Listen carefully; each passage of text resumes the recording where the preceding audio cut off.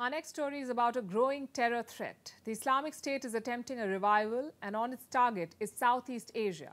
The group has infiltrated into ASEAN nations. The focus is on two countries, Indonesia and the Philippines. We'll focus on Indonesia first. It will elect a new president next year. In the run up to the polls, Indonesia's security challenges are rising. A new report says ISIS supporters have tied up with former terror convicts. They're trying to form a group and they plan to launch attacks around election time. The targets too have been identified. They're looking at polling stations, the police, and non Muslims. And why are these the targets specifically? Because this group views them as enemies of ISIS. The report has not identified specific members involved in the terror plot, but it says one existing group poses a clear security challenge. It is called the Jemaah Ansharut Daulah also known as JAD.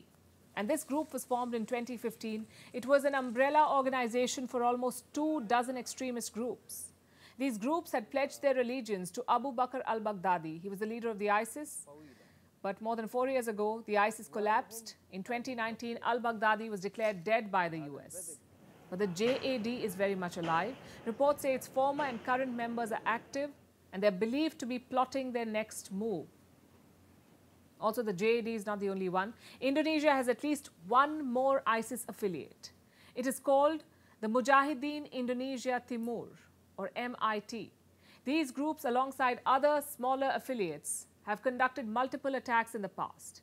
From 2016 to 2021, pro ISIS groups carried out 13 attacks in Indonesia. They killed 68 people and injured more than 100.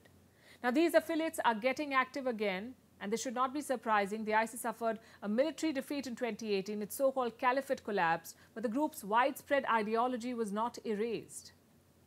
It has resurfaced. Smaller ISIS affiliates have sprung up, and they're much more radical in nature. One of the most prominent affiliates is the ISIS-K, the Islamic State Khorasan, the main challenger to the Taliban regime in Kabul. In 2021, it carried out the Kabul airport attack, a deadly suicide bombing that killed more than 180 people.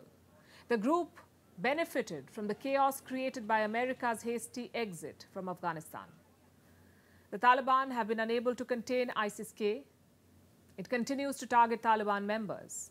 And now ASEAN countries face the risk of becoming the next hotspot.